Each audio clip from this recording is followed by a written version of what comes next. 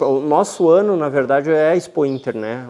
Então ela acaba sendo tudo. Para nós é a grande final, é a Copa do Mundo do Cavalo Crioulo é na Expo Inter.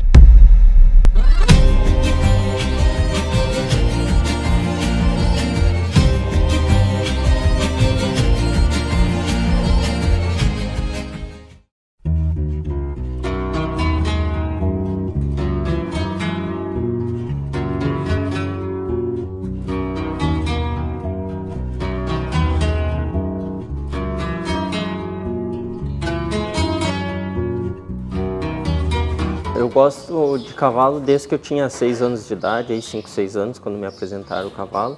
E em particular o cavalo crioulo, quando eu assisti pela primeira vez o Freio de Ouro, em 1994, eu tinha 13 anos, uh, eu fui numa Expo Inter e assisti pela primeira vez lá a final do Freio de Ouro. E aquela prova me encantou, a prova do freio é emocionante, eu acho que encanta qualquer um que assiste.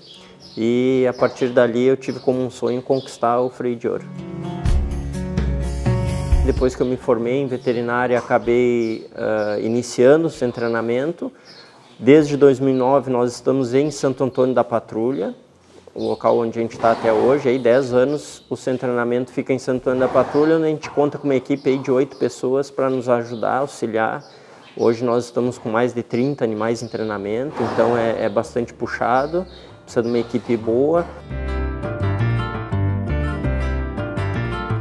A tua vida, o teu sustento, tudo está aqui. Sim, com certeza. Hoje uh, o meu sustento vem do treinamento.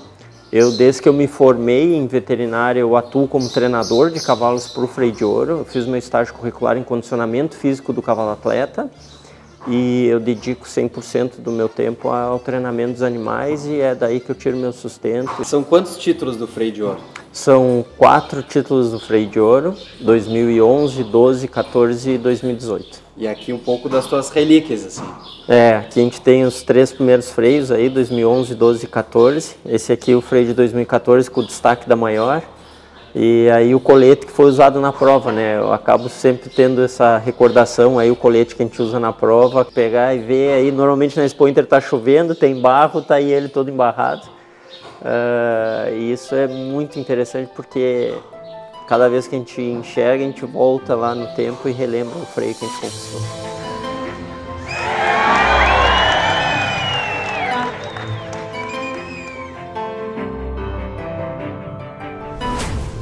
Guto, então esse aqui é o JA Libertador.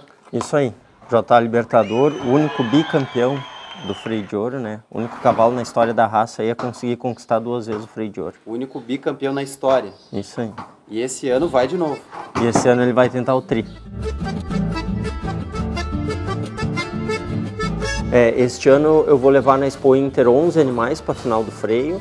Já faz aí um bom tempo que a gente vem com um número grande de animais uh, levando na Expo Inter, aí várias vezes sendo o ginete com o maior número de animais dentro do freio de ouro na Expo Inter. E este ano não é diferente, a gente vai estar com o maior número de animais, é bastante corrido, são dias ali bem intensos.